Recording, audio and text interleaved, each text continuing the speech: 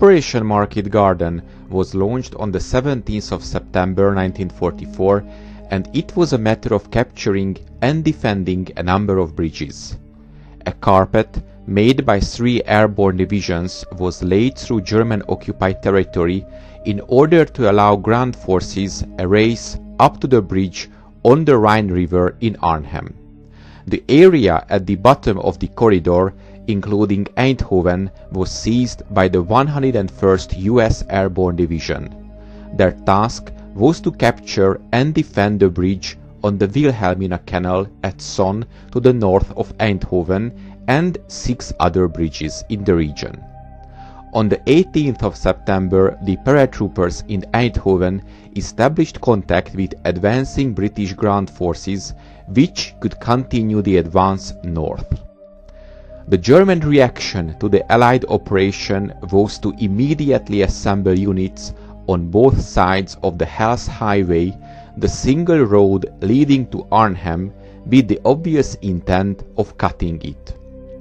The trump card of these attacks was the relatively new German unit, the 107th Tank Brigade. Formation of the brigade started in July of 1944 from the remnants of the 25th Panzergrenadier Division. This division had been virtually destroyed earlier that summer in the Minsk area as part of the Army Group Center. Major von Maltzahn was assigned as a commander of the new unit.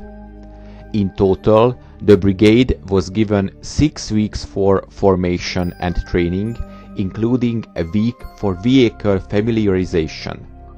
It had one Panzer Grenadier battalion mounted in half-tracks, one Panzer battalion with 30 to 40 Panther tanks, one anti-tank company, and several mobile anti-aircraft guns.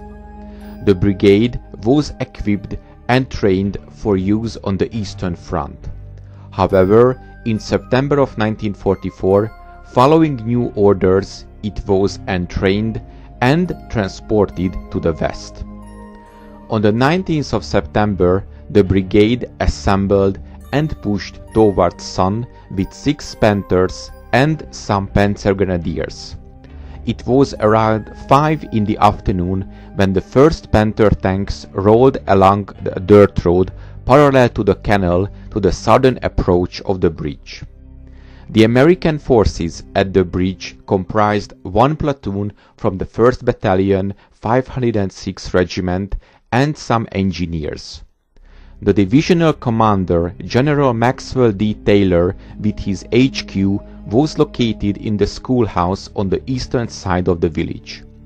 During the attack, a column of trucks belonging to the 21st British Anti-Tank Regiment was crossing the canal. Many vehicles were hit by German fire. One of them, carrying ammunition, exploded just in the middle of the bridge. On the next day, the German forces repeated the attack in the early morning mist. Once again, Panthers and Panzergrenadiers reached the bridge area engaging the defenders. But this time the Allied response was even stronger.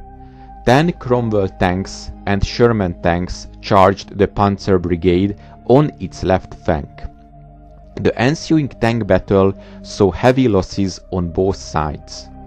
With his men almost surrounded, Maltzahn was forced to withdraw for the second time having lost around 150 men and four more tanks.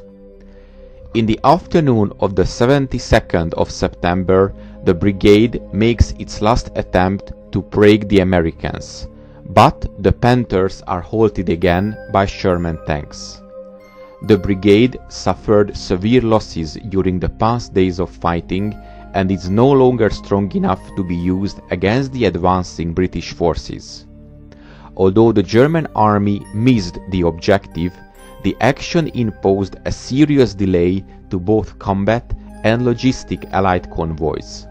This was one of the little known reasons for Operation Market Garden to fail.